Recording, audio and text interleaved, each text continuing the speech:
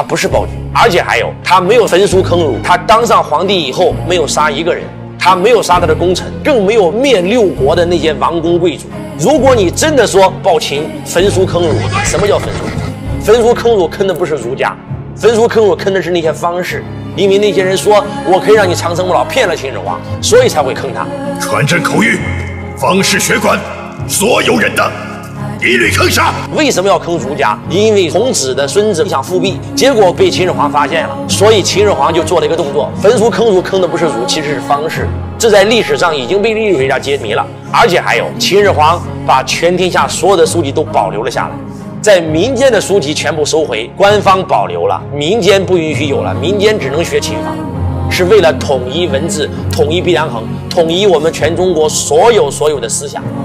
那真真正正焚书坑儒的是谁呢？是项羽，项羽才是真真正正焚书坑儒，把秦军灭了以后，把当年秦始皇藏的天下藏书全部付之一炬。传我命令，走，将咸阳宫室付诸一炬，所有信宫极妙、三百里阿房宫。统统烧成一个大火堆！而且项羽是杀人魔王，我们都听过南京大屠杀，但是你们知道吗？有一个人比日本鬼子还狠，就是项羽。项羽只要打赢了以后，直接屠城，不管是老百姓还是鸡还是羊，只要是活的，一个不留全杀。记住，秦始皇灭了六国，但是秦始皇从来没有屠过城，从来没有。而项羽屠城超过十座，所以真真正正的暴君是项羽，真真正正焚书坑儒的也是项羽。不是秦始皇。其实，当你翻开大秦帝国以后，你会展现一个新的秦国，你会展现一个完全不一样的秦始皇的形象。而且，周老师看完这本书以后，几乎颠覆了我对秦国的认知，也颠覆了我对秦始皇的认知。我开始去找到全中国的史料，包括我找到武汉的历史学家、陕西的历史学家、河南的历史学家来去考证。到底我们听到的历史哪一段才是真的？那我们就正式拉开大秦帝国秦始皇本纪的序幕。秦将白起坑杀赵国三十万，换句话讲，让赵国一月之间没有男人，所有的男人都被秦国杀完了。就是在这种的历史背景下，秦始皇出生了。秦始皇出生在赵国的邯郸，从小的时候呢，就是被当为人质，所以在赵国人看来，秦始皇那就是他们的眼中钉、肉中刺。可想而知，嬴政小时候他在满是敌人的国家，他是怎么生存？他和他的母亲过的就是颠沛流离的生活。秦始皇十三岁继王位，但是这个王位不是他的父亲给他的，他父亲暴死，根本没有留下奏章，更没有把他册立成太子。那秦始皇是怎么样当上皇帝的呢？当时的秦始皇只有十二岁，是在校场公开比试，比文比武，通过了重重海拔，从秦国的世子里面脱颖而出。不管是文韬还是武略，他是靠他自己的努力当上了秦皇。他从十三岁继位。他就给自己定了个目标，一定要搬下他头上的两座大山。嫪毐、吕不韦，大家都知道，很多人怀疑秦始皇就是吕不韦的私生子。那秦始皇的母亲跟吕不韦有染，这是天下人尽知。不除掉吕不韦，他就无法亲政。但是对秦始皇来讲，吕不韦有功，秦始皇没有杀吕不韦。秦始皇只是下令让他告老还乡。换句话讲，如果你看完这本书以后，你真的会被秦始皇感动，因为秦始皇他一辈子没有杀过自己的功臣，从来没有一个都没有。当他除掉了嫪毐，罢除了吕不韦以后，秦始皇开始掌权，用了不到十年的时间统一中国。当秦始皇统一了中国以后，秦始皇没有想享乐，秦始皇想的是我如何能够让天下老百姓都过上好日子，我如何能够让我们的华夏民族能够繁衍生息，以统一天下为己任，让老百姓再也不用受战争的疾苦。所以秦始皇开始筑长城、打匈奴、吞百越，建立不是功勋。秦始皇为什么只活了五十岁啊？因为他每天长期的工作只睡两个小时啊，每天在处理奏章。很多人说秦始皇荒淫无道。秦始皇一辈子没有娶过一个老婆，怎么叫荒淫无道呢？你们知道吗？秦始皇是中国历史上唯一一个没有选皇后的帝王，他根本就没有成过亲，他所有后宫的嫔妃也就十几个。而且这十几个都是他娶的，都是他妈给他娶的。换句话讲，秦始皇没有爱情，秦始皇要的是天下，要的是继承父兄基业，要的是当民族英雄。为什么说我们这个作者一定要花十六年的时间写出大秦帝国？因为秦是我们中华文明之源头，没有秦就没有今天的华夏文明。当年的商鞅变法变了什么？商鞅变法就变了两个字，一个是耕，一个是战。何为耕？当年六国围攻秦国，秦献公一败涂地，累死战场。秦孝公上任以后，割地赔款，整个秦国穷得连皇帝都吃不起饭了。这个时候，秦孝公渴望能够去招纳贤士来改变秦国。这个时候，商鞅入秦，商鞅入秦就跟秦王讲了两个字，一个是耕，一个是战。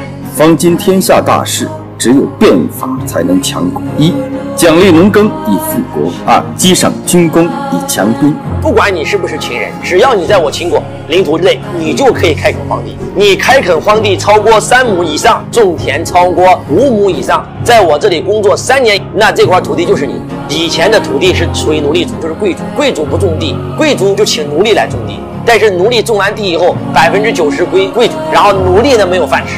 所以奴隶没有动力，贵族也没有动力。但是商鞅变法第一个字耕，换句话讲就是奴隶也可以开垦荒地，拥有自己的土地，而且你赚的大头给你自己，小头给国家就可以了。所以那个时候所有的秦国人全部去开垦荒地，甚至很多六国的人都跑到秦国，想在秦国开垦荒地，因为你只要在秦国开垦荒地超过多少亩，你就可以成为我们秦国人，你就可以拥有土地。所以这个是第一条耕。就这条战略，让秦国用了五年的时间，瞬间从一个秦国老百姓吃不起饭，皇帝都吃不起饭，变成了一跃成为大国，国库充盈。为什么秦军被称为虎狼之师？就来自于商鞅变法。何为战？如果你想当官发财，你想让自己从奴隶变成贵族，你必须要上阵杀敌，而且上阵杀敌，你打了胜仗不讲，你砍下敌军首级就奖，杀五个人头奖一百块。杀十个人头奖一千块，杀一百个人头升官发财。首级一个，技工一等，不是爵；首级两个，技工二等，造是爵。所以以前的秦军将士上阵杀敌为的是国家，但是当商鞅变完法以后，上阵杀敌为的是自己，为的是光宗耀祖。所以秦军的战斗力瞬间起来了，瞬间成为虎狼之师。六国的军民上阵杀敌，为的是一口饭，当兵吃粮嘛。咱们出来当兵啊，就是为了混碗饭吃。但是秦军上阵杀敌，为的是光宗耀祖，为的是从一个奴隶变成一个贵族。你说他怎么可能没有动力呢？而且，如果你贵族不上阵杀敌，以前在奴隶制里面，贵族上阵杀敌就算败了，依然是贵族。但是商鞅变法以后，贵族如果说上阵杀敌败了，不好意思，有可能你会被降成奴隶。如果你赢了，你就可以变成贵族。所以，不管是贵族还是奴隶，只要上阵杀敌，人人皆有动力。秦国人一说上阵杀敌，就像过年一样。就是因为秦军改了这个机制，所以每个秦军上阵杀敌，就是瞄准着敌人的头。每一个秦军上阵杀敌，拿着刀把人头下还不敢扔，害怕同事抢人头抢功，然后用个绳子把敌人穿个孔背在身上，满身上下背的全是人头。当六国军民上阵杀敌，看到秦军像魔王一样，全部举手投降，就是动力不一样。赵军想白起三十万。但是白起下令三十万全部砍掉，因为就算我打赢了，我没有奖，只有把人头全砍下了，我才有奖。这就是商鞅变法。商鞅他得罪了一个人，就是当时的太子秦惠文王上任以后车裂了商鞅，但是秦惠文王依然用的是商鞅之法。商鞅虽死，其法不灭，又有何憾？只可惜我商鞅看不见大秦一统天下。当年的商鞅变法变的就是机制。变的就是为谁干，干完怎么分。当所有的人都感觉到是在为别人干的时候，没有人会有动力；当人人都认为为自己干的时候，就一定会有动力。我经常问我们的企业主一个问题：摸了你的良心，问问你自己，在你企业里面有几个人像你一样为企业操心？很多老板摸完以后说：“老师，两个，一个是我，一个是我老婆。”所以你是个体户，所以你在企业只能做这么大。但是，请问在华为，任正非手下有多少人像任正非一样为华为操心呢？标准答案是七万人，人人都像任正非一样为华为操心，因为人人都是华为的股东。那这套机制在哪里学的呢？就来自于秦国。秦始皇这辈子最崇拜的人就是商鞅，就是商鞅，就是用的法家学说。那个时候百家争鸣啊。有儒家，有道家，有小说家，有阴阳家，有权谋家，有纵横家，还有法家。我在那个年代，只有法家是向前的学。六国变法就是秦国变得最彻底，所以整个秦始皇用的就是法家学说。就是因为他用的法家学说，所以秦军才成为虎狼之师，所以秦始皇才能够统一天下。他统一天下是不想让天下继续打了。换句话讲，打是为了和，唯有天下一统。才能开拓万世太平。秦始皇哭了，被刘邦戴了一个暴秦的帽子，一戴戴了两千多年。我今天要帮秦始皇平反。如果你们了解楚汉史，你们不觉得这段历史很可笑吗？刘邦地痞无赖，项羽有两万人马而已。秦军当年扫了六国，你知道秦军当年多少人吗？八十万虎狼之师啊！你们熟悉历史都知道，项羽从来没有正儿八经跟秦军干过仗。项羽跟章邯率领的二十万秦军打仗，章邯率领的那二十万那是啥？那是秦始皇修陵的，叫做刑徒军，就是犯人。秦军八十万。瑞士在哪？有三十万在长城守匈奴呢，另外五十万守南中国。